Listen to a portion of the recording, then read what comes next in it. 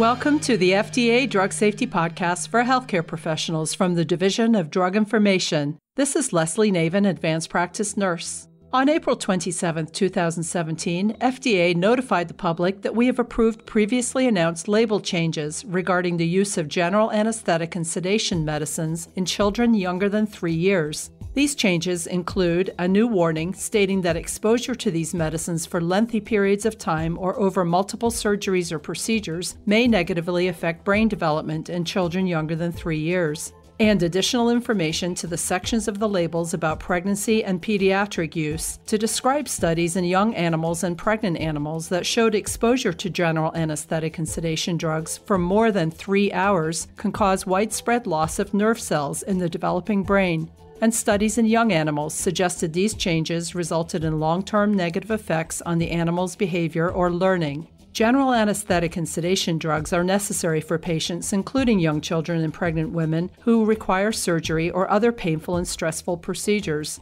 In the U.S., surgeries during the third trimester of pregnancy requiring general anesthesia are performed only when medically necessary and rarely last longer than three hours. We're advising that in these situations, pregnant women should not delay or avoid surgeries or procedures during pregnancy, as doing so can negatively affect them and their infants. Also, surgeries or procedures in children younger than three years should not be delayed or avoided when medically necessary. Consideration should be given to delaying potentially elective surgery in young children where medically appropriate. Parents, caregivers, and pregnant women should talk to their healthcare professionals if they have any questions or concerns about general anesthesia and sedation drugs. Healthcare professionals should continue to follow their usual practices of patient counseling, including discussing the benefits and risks of surgeries or procedures that require general anesthesia and sedation drugs. We will continue to monitor the use of these drugs in children and will update the public if additional information becomes available. Report side effects involving general anesthetics and sedation drugs or other medicines to the FDA MedWatch program at fda.gov/medwatch.